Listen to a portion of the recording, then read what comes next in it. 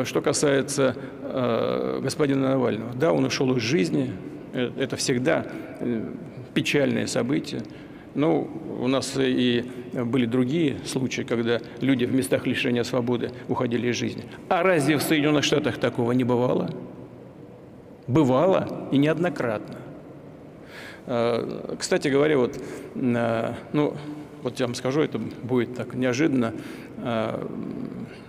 За несколько дней до ухода господина Навального из жизни э, мне некоторые коллеги сказали, и не, не сотрудники администрации, некоторые там люди сказали, что есть идея обменять господина Навального на некоторых людей, которые находятся в местах лишения свободы в западных странах.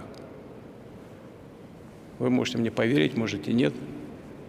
Человек, который со мной говорил, еще фразу не закончил. Я сказал, я согласен.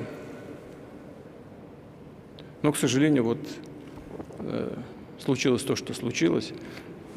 Только при одном условии сказал, что мы его поменяем, чтобы он не возвращался, пускай там сидит. Вот и все. А, Но это случается. Ничего здесь с этим не поделаешь. Э, Вот э, такова жизнь.